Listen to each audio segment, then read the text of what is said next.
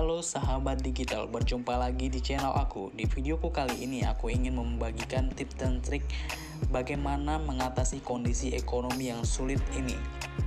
Berbagai orang mencari solusi agar masalah bisa teratasi. Salah satu solusi yang dibuat adalah dengan menciptakan sebuah platform untuk para pencari kerja, terutama untuk mencari pekerjaan sampingan. Sebelumnya, orang mencari kerja dengan datang langsung ke tempat kerja. Namun saat ini dengan kondisi COVID-19 yang saat ini susah untuk mencari pekerjaan. Berikut ini ada beberapa aplikasi pencari pekerjaan sampingan yang bisa saya bagikan kepada teman-teman semuanya. Yang pertama yaitu adalah freelancer. Nah, ini adalah suatu aplikasi yang memang menyediakan pekerjaan paruh waktu Bukan hanya di Indonesia saja, pekerjaan yang ada di aplikasi ini juga mencakup seluruh dunia. Banyak pekerjaan di dalam di dalam aplikasi freelancer ini mulai dari membuat desain, editor video atau foto.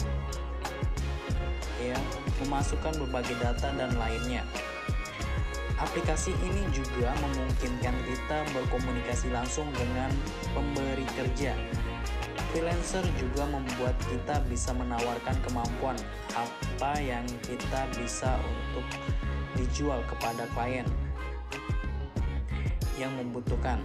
Upah yang dibayarkan di aplikasi ini adalah dalam bentuk dolar yang tentunya menjadi keuntungan sendiri bagi pengguna di Indonesia. Nah, buat teman-teman yang saat ini sedang mencari pekerjaan sampingan atau uh, hanya bisa di rumah saja, boleh menggunakan aplikasi ini ya. Ini adalah saran saya untuk kalian yang sedang di rumah. Lah Big Agent. Berikutnya adalah Big Agent. Aplikasi yang dirilis oleh Relali.com. Aplikasi ini menawarkan solusi bagi masyarakat untuk mendapatkan penghasilan tambahan tanpa kendala waktu, modal, dan persyaratan kemampuan yang dimiliki. Kehadiran Big Agent adalah komitmen dari platform penyedia subscriber untuk kemajuan ekonomi di Indonesia. Di dalam aplikasi ini, kalian bisa bekerja sebagai agen yang bisa melakukan pekerjaan apa pun sesuai kemampuan dan keinginan kalian. Mulai dari mensurvei tempat usaha hingga melakukan penjualan pada umumnya. Kita akan mendapatkan upah ketika kita sudah menyelesaikan pekerjaan yang ada dan upah yang dibayarkan adalah sesuai kesepakatan yang dibuat sebelumnya. Jadi buat teman-teman yang ingin mencoba menggunakan aplikasi Big Agent ini, boleh kalian cari di Google Play Store dan silakan coba dan dapatkan penghasilan dari aplikasi ini. Berikutnya, ini adalah aplikasi sampingan.